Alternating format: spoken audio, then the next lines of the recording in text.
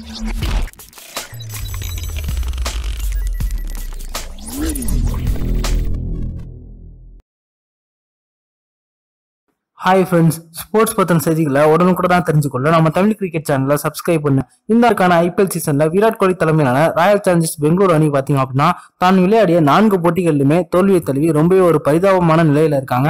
இதில் நான்காவது போட்டியில் அவங்க வந்து ராஜஸ்தான் அணிக்கு எதிராக விளையாடினாங்க. போட்டியிலேயே அவங்க வந்து தோல்வியை தழுவினதுனால அந்த அணியோட வீரர்கள் மட்டும் இல்லாமல் அதோட ரசிகர்கள் கூட ரொம்பவே மனமடைஞ்சு போயிட்டாங்க அப்படின்னே சொல்லலாம். இதனால ரொம்பவே குழம்பி போன அந்த அணியின் வீரர்கள் பயிற்சியாளர் ஆலோசகர் அணியின் கேப்டன் விராட் கோலி மூத்த வீரர் ஏபிடி வில்லியர்ஸ் அப்படின்னு அனைவரும் வந்து கலந்தாலோசித்து பேசினாங்களாம். அதுல வந்து ஏபிடி வில்லியர்ஸ் மற்றும் பயிற்சியாளர் இவங்க வந்து விராட் கோலிக்கு சில முக்கியமான அறிவுரைகளை கொடுத்துருக்காங்களாம். அது என்ன அப்படிங்கிறத பத்தி பார்ப்போம்.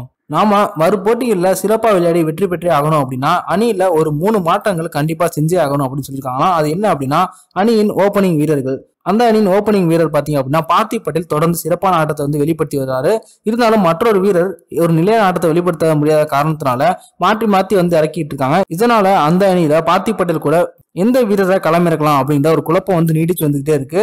அதனால ஏதாவது ஒரு வீரரை களமிறக்கி அவரை வந்து ஒரு ஆட்டத்துல சரியா விளையாடினாலும் கூட அடுத்த ஆட்டத்துல அவருக்கே வாய்ப்பு கொடுக்க வேண்டும். அப்பதான் அவர் நிலையான ஆட்டத்தை வெளிப்படுத்த முடியும் அப்படின்னு முடிவு எடுத்திருக்காங்களாம். அதே போல மிடில் ஆர்டர்ல பாத்தீங்க அப்படின்னா வெளிநாட்டு வீரர்களை நம்பி அந்த அணி இருக்கு.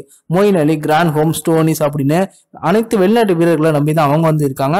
அந்த இடத்துல மோயின் அணி அப்படி இல்லைன்னா ஹெட்மேர் இவங்கள வந்து வெளியில எடுத்துட்டு பவன் நெகி அப்படி இல்லைன்னா வாஷிங்டன் சுந்தர் இவங்களை உள்ள கொண்டு வரலாம். உள்ளூர் ஆடுகளம் அப்படிங்கிறதுனால அது வந்து உள்ளூர் வீரர்களுக்கு சாதகமா இருக்கும் அப்படின்னு சொல்லியிருக்காங்க.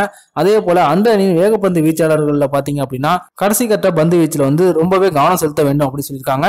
பதினைந்துல இருந்து இருபது ஓவர்களுக்குள்ள அவங்க வந்து அதிகமான ரன்களை விட்டு கொடுக்கறதுனால தான் அதுவே வந்து அவங்களுக்கு தோல்விக்கு முக்கியமான காரணமா இது அப்படின்னு சொல்லியிருக்காங்க. அதனால அந்த அணியில இருக்கிற மாற்று சிறந்த வேகப்பந்து வீச்சாளர்களான டிம் சவுதி அப்படி இல்லைன்னா கவுட்டர் நைல் இவங்க இரண்டு பேர்த்துல யாராவது ஒருத்தரை உள்ள எடுத்து அவங்கள வந்து பரிசோதிச்சு பார்க்கணும். அது அந்த ஐடியா வந்து கண்டிப்பா ஆர்சிபிக்கு கை கொடுக்கும் அப்படின்னு அந்த அணியின் மூத்த வீரரான டி வில்லியர்ஸ் மற்றும் பயிற்சியாளர் வந்து விராட் கோலி கிட்ட கலந்தாலோசிச்சிருக்காங்களாம் அதனால பாத்தீங்க அப்படின்னா அடுத்து வரும் போட்டிகளில் ஆர்சிபியில சில முக்கியமான மாற்றங்கள் செய்யப்பட்டு ஒரு புது உத்வேகத்தோட கலந்துருவாங்க அப்படின்னு எதிர்பார்க்கப்படுகிறது.